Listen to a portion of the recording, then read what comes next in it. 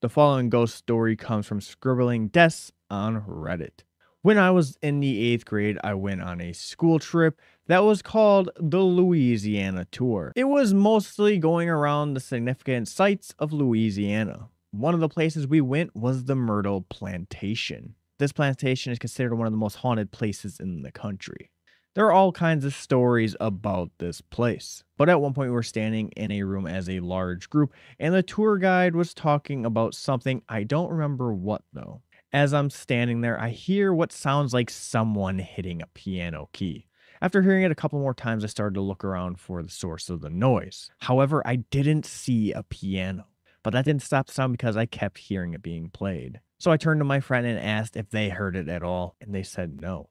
Then all of a sudden the piano played again, and I said, There, it played again, so they must have heard it. However, my friend thought I was crazy. Everyone's eyes were on the tour guide except for one woman.